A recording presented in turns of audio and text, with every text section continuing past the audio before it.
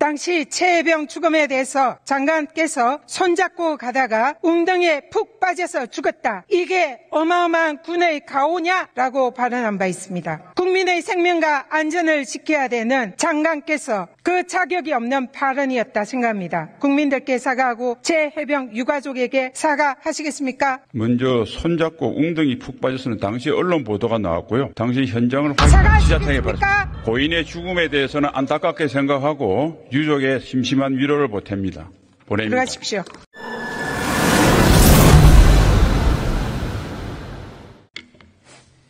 군사법원법 228조에 따르면 군사 경찰관은 범죄 혐의가 있는 경우에는 수사를 해야 하고 범죄를 인지한 경우에는 경찰청으로 이첩해야 한다 규정되고 있습니다.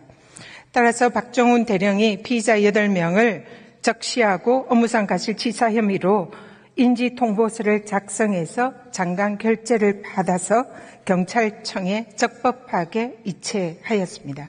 이로써 군사법원법상 사건은 종료됩니다. 장관께 질문하겠습니다. 대통령에게 구체적인 수사 지휘권 있습니까?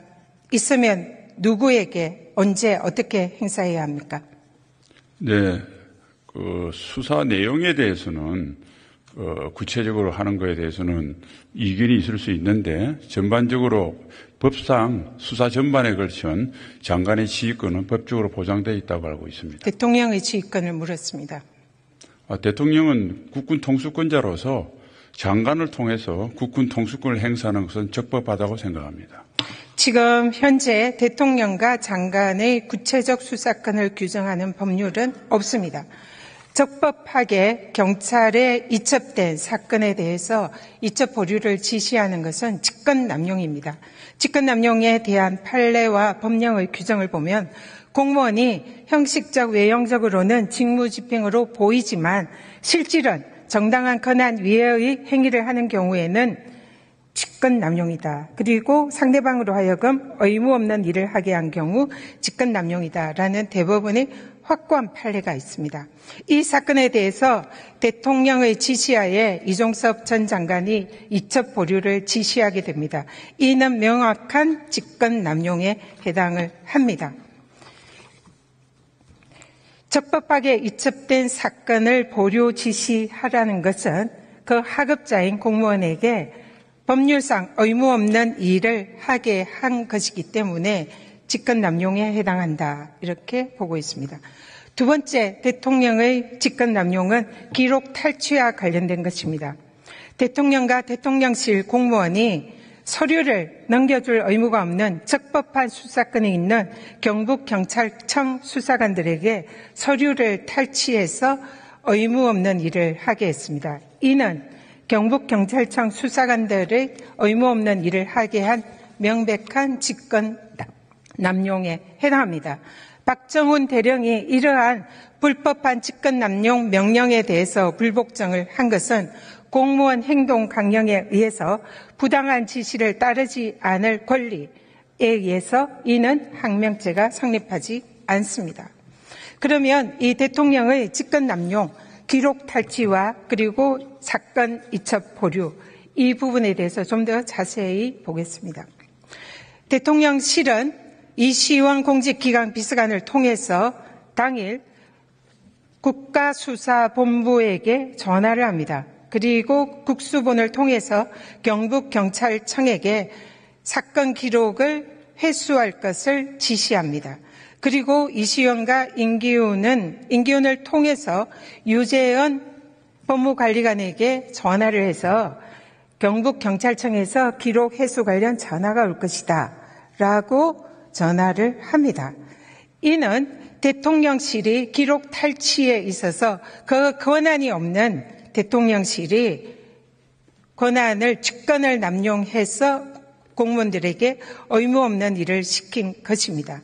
대통령이 개입했다는 명확한 증거들이 이번 청문회 과정 전후에서 많이 밝혀졌습니다. 첫 번째, 신범철 차관은 대통령과 기록 회수 관련해서 통화를 했다라고 청문회에서 자백을 합니다.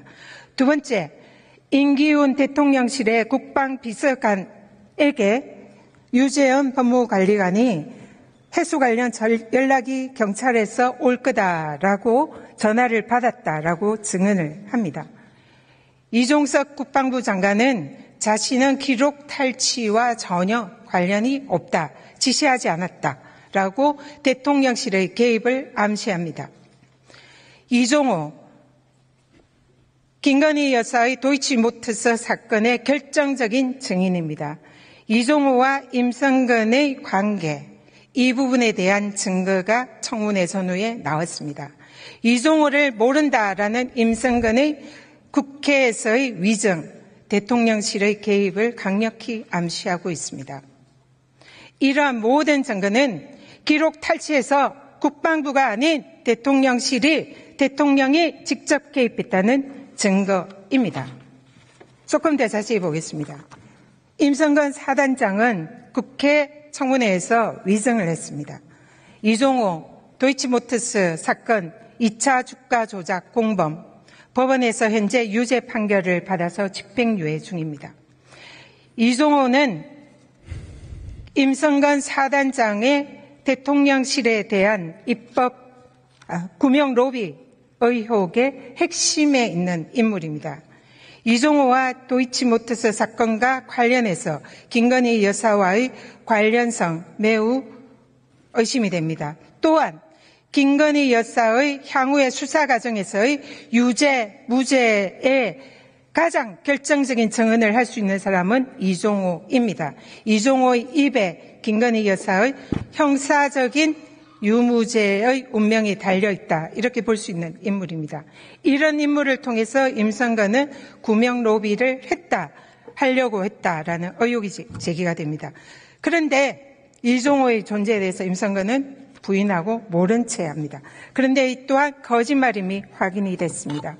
이 청문회 이후에 카톡방에서 임성건 사단장의 초청으로 이종호와 해병 관련 인사들이 골프를 치기로 했다라고 약속을 하는 정황이 언론에 보도가 됩니다. 그런데 이 카톡에서 나온 그 날짜에 임성건 사단장이 해군 해병대 골프장에 같은 날짜에 골프 예약을 하는 것이 국회에서 확인이 됐습니다. 그러면 임성건 사단장과 이종호가 적어도 이 날짜에 골프를 치려고 했고 사단장이 1박 2일 골프를 주선하고 환대하는 행사를 가진다. 이것이 실행에 옮겨지지는 않았으나 골프장의 정확한 그 날짜의 증거를 보면 이종호와 임성근은 모르는 사람이 일 수가 없고 같이 골프를 칠 정도의 친밀한 관계라는 것이 확인이 됩니다. 따라서 이종호는 국회에서 위정을 했습니다. 장관, 이종호가 왜 위정했습니까?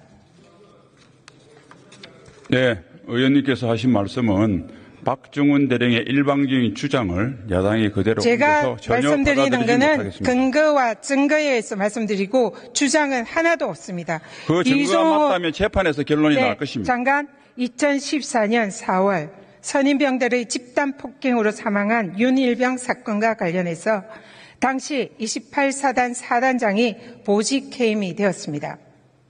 똑같이 산하 해병이 억울하게 죽음을 당한 임성건 사단장 국방인사관리 훈령 제16조 제5에 따라서 보직 해임하고 전역시켜야 합니다. 하시겠습니까?